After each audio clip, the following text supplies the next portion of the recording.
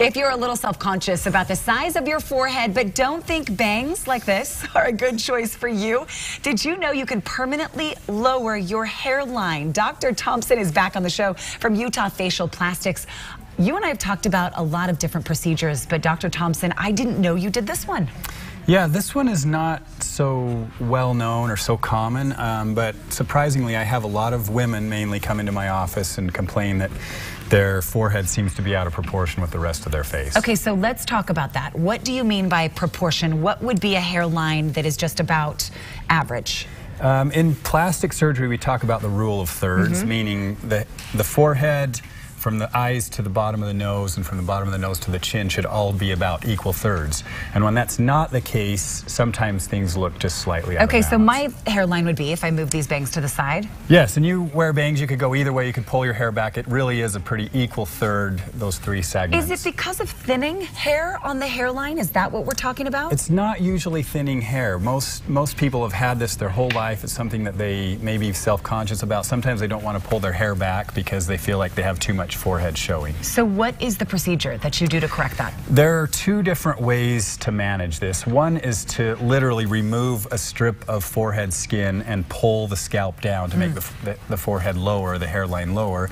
That, of course, leaves a scar. We can usually hide it pretty well, but it does leave a scar, and I think we have a couple of pictures of that to show. Um, and that's the procedure this woman had done? Uh, yes. Okay. Um, and there's a little bit of almost like a zigzag scar that you can see there, but you can see the size of her forehead is significantly smaller now. and it looks better. It looks like looks it's natural. in better balance. Mm, yes, it looks, looks much natural. more natural. And what's the other way to go about the this? The other way to do this, and, and it's shown in this picture here, is you can actually transplant hair into that area if you don't want to have a scar. The downside of that is it usually takes a long time for that to fill in and, and requires some degree of patience. Where do you choose the hair to transplant? Usually we take it from the back here where we can hide where it's been removed and then and move it to the front. Which one do you like better?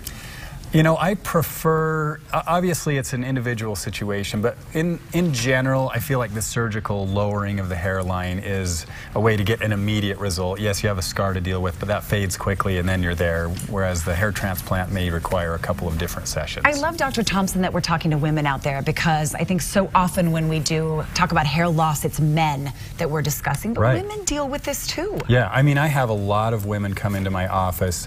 Sometimes they have an irregular hairline. They might have a widow's peak that they don't like, and there are a lot of things that we can do with hair transplant to make that. Or some women even have temporal recession, meaning you know, they have more of like a male pattern recession of their hairline, and that's We've something we can work talked with. about this on the show before, but my husband, Scott, had the hair transplant, and he had it done just been about a year and a half ago, and he was the talk of the most recent Cinco de Mayo party.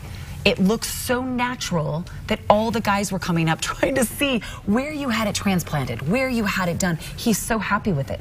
Yeah, and you know, the technology has really advanced to the point where you can really do a hair transplant and, and make it so that somebody really can't tell that anything was done and, and you look at before and afters and you're like wow this looks so much better than it did before and you're right the results weren't immediate but i act i actually like that because th it was this gradual change yep. That nobody really noticed until he had the fullness back in his hair that he was looking for yeah, it's uh, it's one of those things. It actually takes a year for the hair to kind of fill in, but sometimes that's a good thing because most men are not so excited about everybody knowing that they had a hair transplant. So if this is something that you're thinking about, everybody, Utah Facial Plastics is the place to go. That is their website, utahfacialplastics.com, and the phone number. I have to say congratulations to everybody there too. They just won 2019's Best of SLC for plastic surgery. So I think they're amazing, but so do a lot of other people that hopped on there and voted. So congrats to you. Thank you very much. You guys always do such a we great appreciate job. It. Thanks. Good to see you. Up next, every